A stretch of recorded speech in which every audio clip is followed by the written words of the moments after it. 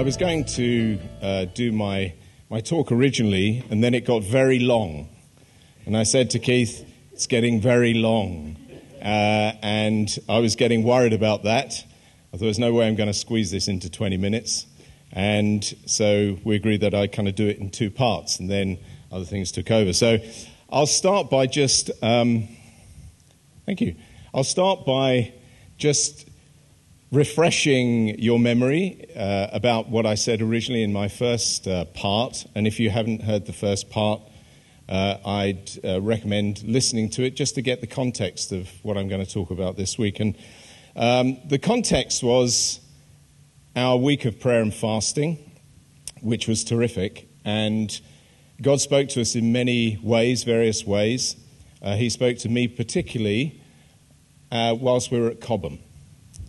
And during the time of worship at Cobham, I saw before me what looked like static electricity.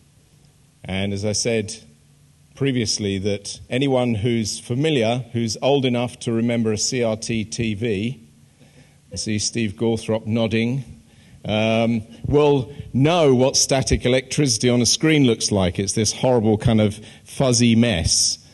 And I couldn't understand what that was, but as it moved back, it became like boiling water. So it was like my eyes were against boiling water. And then it carried on moving back, and it became a pot of boiling water on my stove. And then God said to me, A pot of cold water is of no use at all, so I'm going to heat you up. And yeah, I, I kind of sniggered as well because I thought, what does that mean? I knew that it applied to me, most certainly, but I also felt that it applied to us in some way. And I then sought the Lord about it because I wasn't sure what it meant at first. God gave me two particular scriptures in relation to it at the time, but I couldn't decide which one was the right one or whether there was a right one. It was like I had one scripture sitting on my left shoulder talking to me and another on my right talking to me. And so I went to Michelle after the meeting and I said, I think God has spoken to me, but I'm not sure how to interpret it, so I'm not going to give it yet. And then to cut a long story short, I met a friend, shared the thing with him, and he said, No, they, they both actually fit together, although I still couldn't quite understand how. And the first part of the vision that I had, uh, the scripture was from Revelation 5. And in that part of Revelation, the book of Revelation, Jesus is dictating letters to seven churches in Asia Minor. And each one of the churches has a different characteristic. Some of the churches are going through extremely tough times. They're under severe persecution. Some of the churches are finding it a bit easier. In particular, the Lord spoke to me about the church of Laodicea.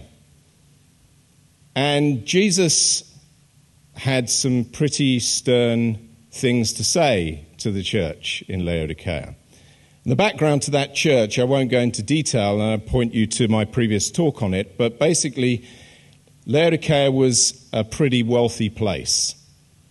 The church was full of money, and they were feeling pretty self satisfied. Like what they really needed, they'd already got. They didn't need anything from God because they got all this money and they could do anything they liked. And Jesus took issue with them about that. And he said, You're lukewarm. And because you're lukewarm, because you're neither cold nor boiling hot, I'm going to spit you out of my mouth. And that was quite an interesting word. The second part of my talk comes from the book of Jeremiah. And At the start of Jeremiah 1, God calls him. Jeremiah doesn't really feel up to it and says to God, I'm just too young for this kind of thing. But God says, You're the guy for the job. And the first part of verses 1 to 12 are not so relevant to what I felt God was saying to us. So I'm kind of skipping over that. But in the second part, I'll read to you. The word of the Lord came to me again. What do you see? I see a pot that's boiling, I answered. It's tilting towards us from the north. The Lord said to me, From the north, disaster will be poured out on all who live in the land. I am about to summon all the peoples of the northern kingdoms, declares the Lord. Their kings will come and set up their thrones in the entrance of the gates of Jerusalem. They will come against all her surrounding walls and against all the towns of Judah. I will pronounce my judgments on my people because of their wickedness in forsaking me in burning incense to other gods, and in worshipping what their hands have made. Get yourself ready. Stand up and say to them, Whatever I command you. Do not be terrified by them, or I will terrify you before them. Today I have made you a fortified city, an iron pillar, and a bronze wall to stand against the whole land against the kings of Judah, its officials, its priests, and the people of the land. They will fight against you, but will not overcome you, for I am with you and will rescue you, declares the Lord. Now, I'm not going to undertake an exposition of the whole section. I just want to draw out some salient things that I think are relevant and tie into the previous word that I gave. And what I have to say won't necessarily map onto the whole of this passage. Now, what was Israel called to be? This is where Michelle stole my thunder without realizing it earlier on. That's quite all right, it's good. Israel was called to be a nation of priests. That's what God called them to be in Exodus 19, verse 6. He said, You are going to be a nation of priests. What do priests do? For Israel, the priests were called to reflect God's character through living out a coherent, integrated covenant lifestyle. In this picture, what do the gates and the walls of Jerusalem signify? Well, for us, we think of gates and we perhaps think of just they're useful to stop things coming in, going out, and we just pass through them. But in those times, the gates were very, very significant to the city. Of course, they provided security for the people inside the city, but there was something more to it than that. The gates were the place where the leaders would make decisions.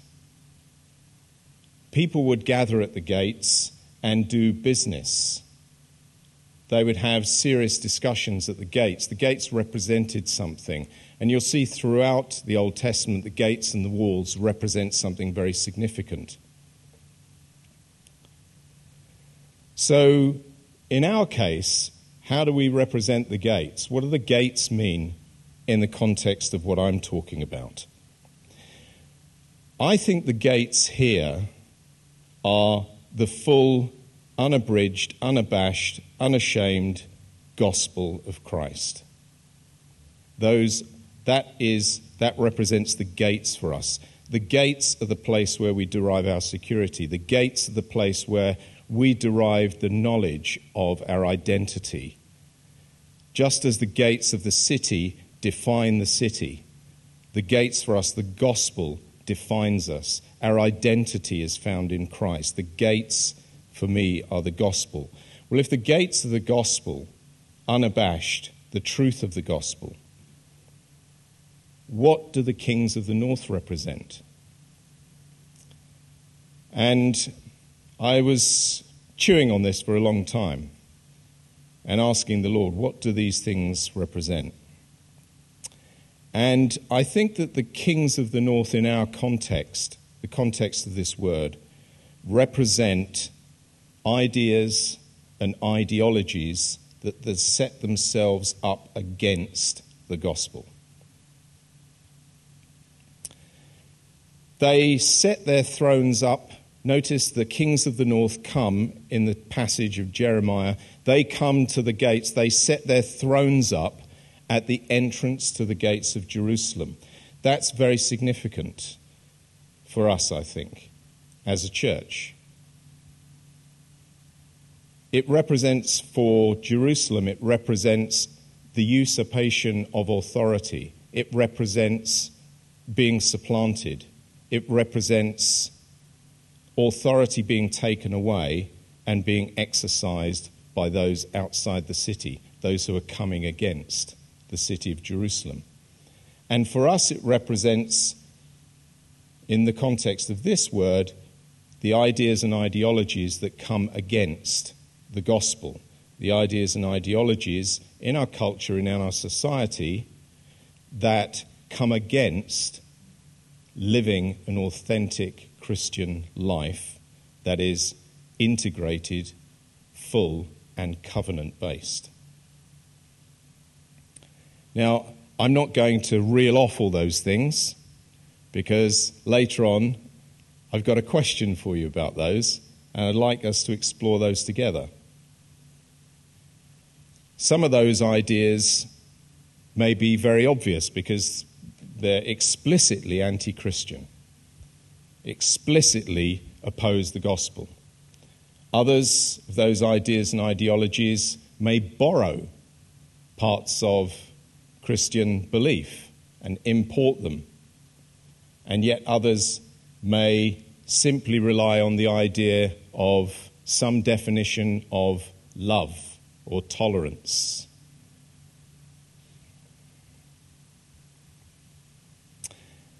But as I thought about this, one of the things that struck me was that there is perhaps a greater threat to the church today and that's the threat of nominal Christianity. We live in quite a privileged, we think we live in a privileged situation. We're not generally under persecution. The history of the church is the history of persecution, and the church has flourished through persecution of various kinds. And the danger of living in times when there's no persecution is nominal Christianity. And how do we define what nominal Christianity is? Fortunately for us, the Bible gives us the answer. The Apostle Paul provides a really good working definition, I think, in the second letter to Timothy where he warns Timothy to watch out for people who have a form of godliness but denying its power. That's interesting. A form of godliness but denying its power. What does that mean? I think it means that outwardly there's this vaguely moral, somewhat ethical exterior to someone's life, but they don't believe in the power of the gospel to change them or anything. We're not called as Christians to live vaguely ethical, moral lives. Our lives are based on a dynamic relationship with the living God. That is a relationship that has the power to change the power to change us, the power to change the world around us. But there is plenty going on out there which is nominal. And I think one of the things that we need to learn to do in order to tackle that is to exercise judgment. Now, judgment is a really tricky word, I think. It's a word that's got bad press. I think it gets interpreted very negatively. But when you read the scriptures, God's judgment brings freedom. God's judgment brings revelation, it brings reconciliation, it brings clarity, it brings hope. So, judgment is actually a very good thing in the, as far as the scriptures are concerned, I think. But it's often thought of as in a very negative light. We say, oh, we mustn't judge, mustn't judge. But when you read the scriptures, you'll be surprised that that isn't how the Bible sees it, I think. And that's the challenge for us. How do we do that? In 1 Corinthians chapter 5, Paul is writing to a church that's struggling it's a church that's full of people who've come out of exotic places of pagan worship where they've done stuff that we'd probably find pretty shocking, and it's been pretty normal to them to do that thing. And they're struggling to make a connection between what they profess as their faith and what they exercise as their lifestyle. And to some degree, we all have that struggle we all struggle to make a firm connection between what we profess as our faith and how we live, the decisions that we make. But for the Corinthians, it was pretty blatant. It's actually reported that there's sexual immorality among you in a kind that even the pagans do not tolerate. A man is sleeping with his father's wife, and you're proud? Shouldn't you rather have gone into mourning and have put out of your fellowship the man who has been doing this? For my part, even though I'm not physically present, I'm with you in spirit. As one who is present with you in this way, I've already passed judgment in the name of our Lord Jesus on the one who has been doing this. So when you are assembled, and I'm with you in spirit, and the power of our Lord Jesus is present, Hand this man over to Satan for the destruction of the flesh, so that his spirit may be saved on the day of the Lord. Your boasting is not good. Don't you know that a little yeast leavens the whole batch of dough? Get rid of the old yeast, so that you may be a new, unleavened batch, as you really are. For Christ, our Passover lamb, has been sacrificed. Therefore, let us keep the festival not with the old bread leavened with malice and wickedness, but with the unleavened bread of sincerity and truth. I wrote to you in my letter not to associate with sexually immoral people, not at all meaning the people of this world who are immoral, or the greedy, or swindlers, or idolaters. In that case, you'd have to leave this world. But now I'm writing to you that you must not associate with anyone who claims to be a brother or sister but is sexually immoral or greedy, an idolater, or slanderer, a drunkard, or a swindler. Do not even eat with such people. What business is it of mine to judge those outside the church? Are you not to judge those inside? God will judge those outside.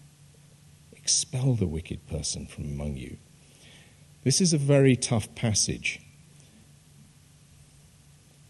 but it's right there in black and white. And all I want to say is that this is a pretty extreme example of nominal Christianity. Somebody here is so disconnected between what they profess to believe and the way they're living.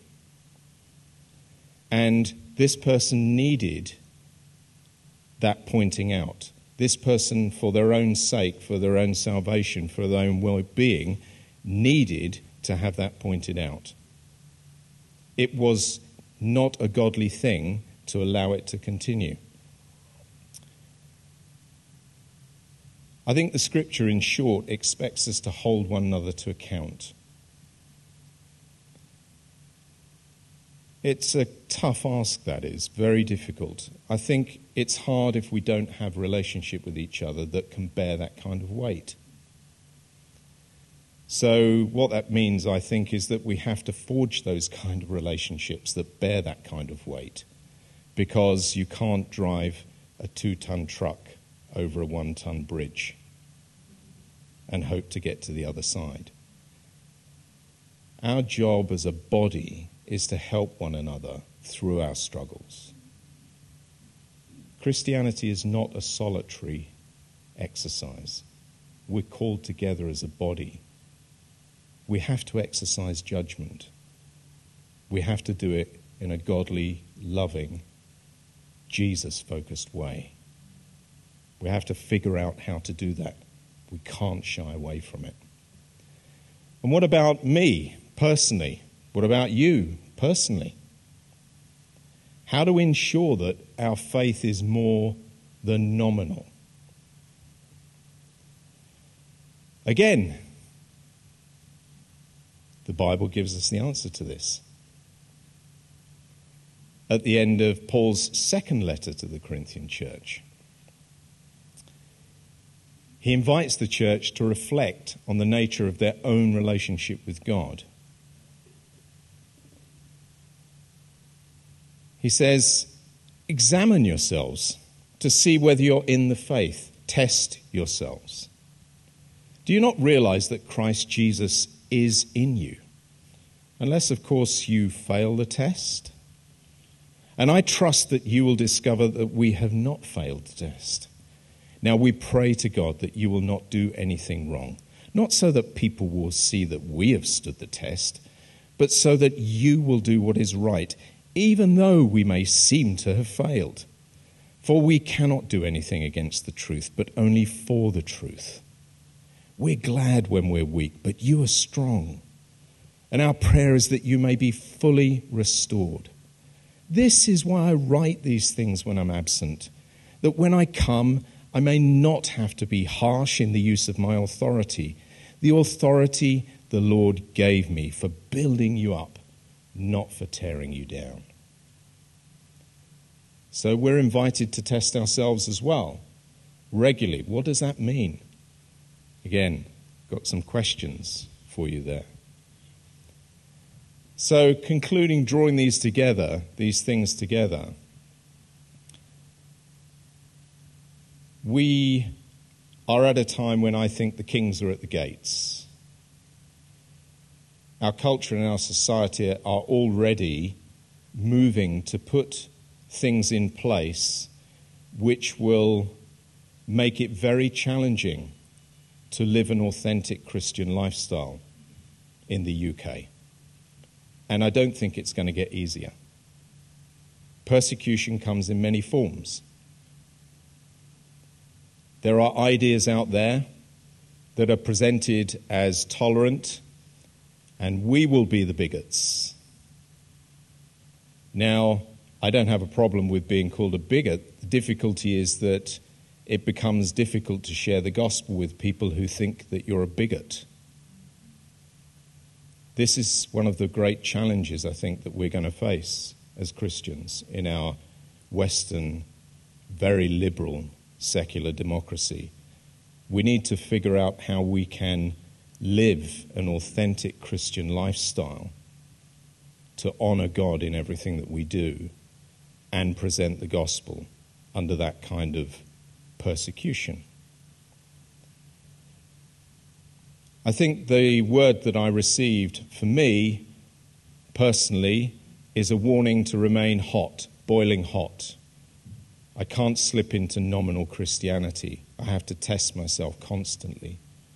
I need to put myself at the disposal of others whose opinions and insights I value and trust so that they'll speak into my life. I need to hear the truth.